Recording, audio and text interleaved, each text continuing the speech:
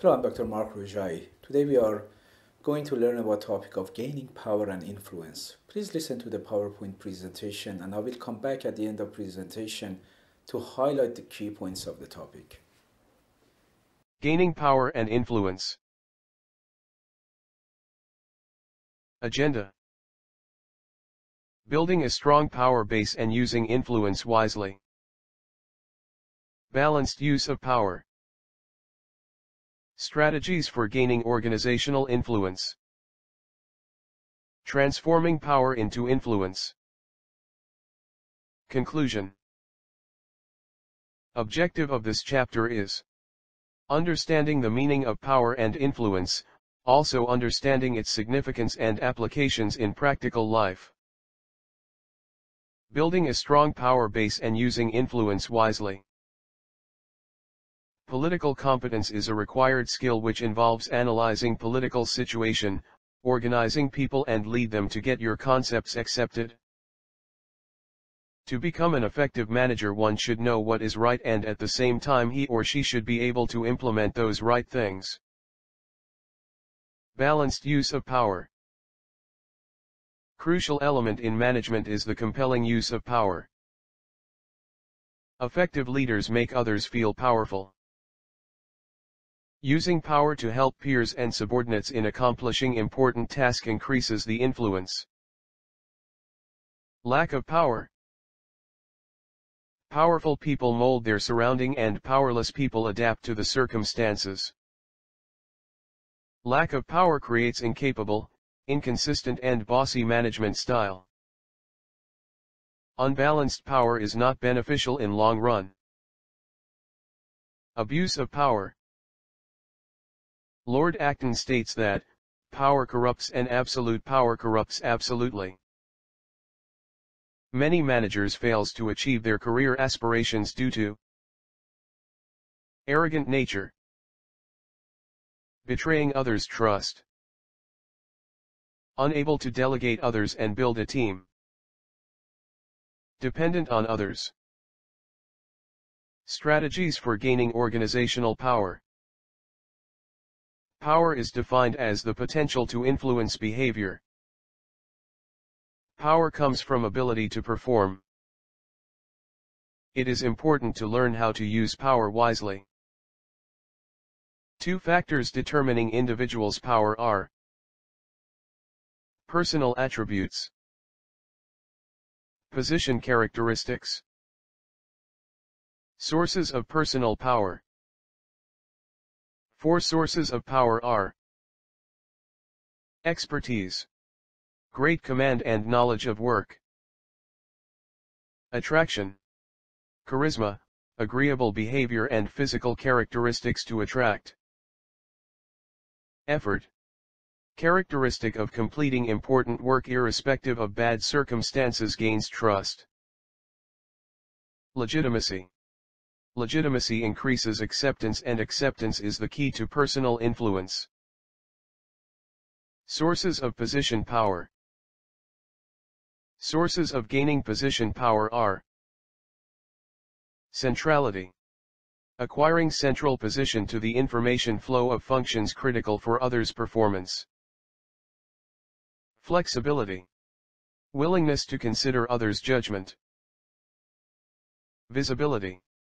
Work done should be visible to the influential persons in an organization. Relevance. Association with activities related to important objectives and issues in the organization. Transforming power into influence. An act of achieving others' agreement to provide support and commitment towards your idea. Three R's to transform power into influence are Retribution. Accomplishment of intended task by threatening others. Advantages include, quick and direct action. Disadvantages are, may jeopardize commitment and evoke resistance. Reciprocity, involves bargaining to satisfy objectives of both the parties. Advantages, both parties get benefit. Disadvantage, expecting negotiation in every request. Reason, involves persuasion of others by explaining importance of your idea. Advantages, enhances commitment, creativity and initiative. Disadvantage, time consuming. Neutralizing retribution strategies used by others. Using counterpoising power to shift dependence to interdependence. Face the exploiting individual directly. Neutralizing reciprocity strategies used by others. Verify motive behind any gift or favor. Confront the person who is using manipulative bargaining tactics. Neutralizing reason strategies used by others. Explain your anxiety. Stand by your personal rights. Firmly refuse the request. Conclusion To bring desired change gaining power is important. One should use personal power and position power to become successful at work. Power should be used wisely to influence subordinates and gain their support and commitment. It is important to defend yourself from the misuse of power by others. This chapter deals with all important topics of power at workplace. I highly recommend you to study several recognized managers or CEOs like Steve Jobs or Jeff Bezos. So you, you can understand huge impact of personal characteristic of these managers in their companies. For instance, Steve Jobs has been known for a unique and a strong sense of using his power as a CEO of Apple, and he was also known for his vision. He was such a polarizing figure that some of his employees had strong feeling toward him one way or other. As a matter of fact, he was fired from his own company because of his management style. But he was brought back to the company because of his, because of his vision. All of us with given power react differently. So for managers to be successful, they need to find balance using this power. Apply different managerial strategies based on the subordinate they are trying to lead. At the same time, it's important to neutralize the impact of abusive power by others to remain effective at work.